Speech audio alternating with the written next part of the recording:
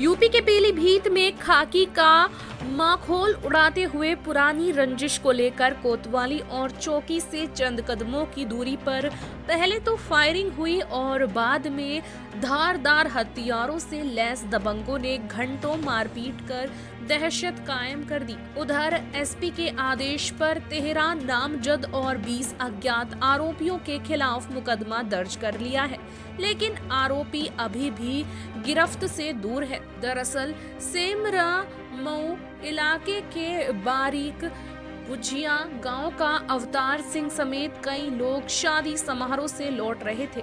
आरोप है कि पूरनपुर आसाम चौराहा पर पूर्व प्रधान चेन्नई सिंह ने अपने समर्थकों के साथ धारदार हथियार से अवैध तमंचा लेकर हमला कर दिया, जिसके बाद बीच चौराहा पर कई राउंड फायरिंग की और धारदार हथियारों से कई लोगों को लहूलुहान कर दिया। बीच हाईवे पर घंटों खूनी तांडव चलता रहा, लेकिन पुलिस को भनक तक नहीं लगी। वहीं एसपी अतुल शर्मा ने बताया कि माधो टांडा इलाके में बारात आई थी। कुछ लोग बारात से घर वापस लौट रहे थे। तभी पूरनपुर आसाम चौराहा पर पुरानी रंजिश को लेकर विवाद हुआ है, जिसमें घायलों को अस्पताल में भर्ती कराया गया है। तहरीर के आधार पर आरोपियों के खिलाफ मुकदमा दर्ज कर लिया गया है। जल्द ही आरोपियों की गिरफ्तारी की जाएगी।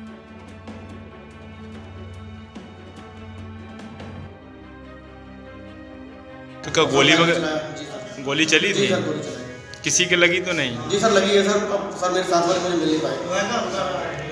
किस बात को लेकर विवाद हुआ? सर विवाद सर कुछ नहीं था सर वो बात तो सर खाली सर इन्होंने घेर लिया किन लोगों ने? क्या नाम है उनके? सर इनका नाम है गुरमुख सिंह गुलाब सिंह बद्दा सिंह अवतार सिंह बुद्धू सिंह गगनदीप सिंह सोहन सिंह शमशेर सिंह हरविंदर सिंह।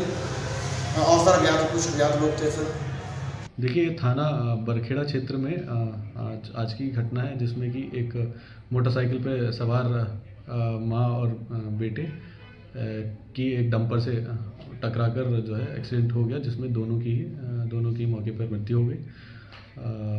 दोनों शवों को पंचायतनामा भरकर पोस्टमार्टम के लिए भेज दिया गया है और मौके पर शांति व्यवस्था बनाई बनाया बनी हुई है। आगे की हम लोग इसमें डंपर जो है वो हमने बोले इसमें पकड़ लिया है और आगे जो भी इसमें तहरीर मिलती है उसके आधार पर इसमें आगे कार्रवाई करेंगे।